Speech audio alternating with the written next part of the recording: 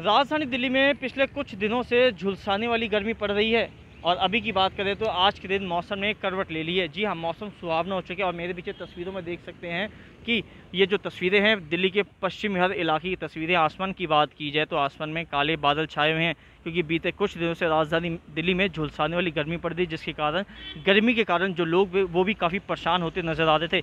वहीं बात की जाए, पेड़ों की तो तस्वीरें देख सकते हैं, सुबह से ही तेज़ हवाएँ चल रही हैं, पेड़ हिलते नज़र आ रहे हैं। वहीं एक और तस्वीर दिखाना चाहता तो देख सकते हैं, तमाम जो पेड़ हैं बड़े बड़े वो भी तेज़ हवा के कारण हिलते नज़र आ रहे हैं। बीते दिनों की बात करें तो मौसम विभाग के अनुसार जो मौसम बताया जा रहा है, पिछले कुछ दिनों का जो तापमान है वो छत्तीस से सैंतीस डिग्री दर्ज किया गया था। लेकिन जैसे कि आज की बात करें तो आज जो तापमान है, मौसम विभाग के अनुसार उनतीस डिग्री दर्ज किया गया है। तस्वीरों में देख सकते हैं, तेज़ हवाएँ चलती नज़र आ रही हैं। सुबह से ही मौसम ने करवट ली हुई है।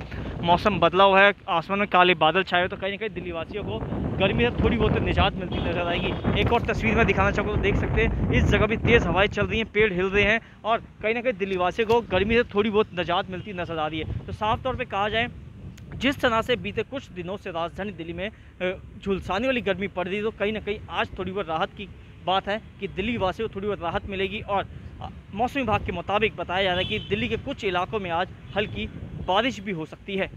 Sahil Bhamri total news Delhi.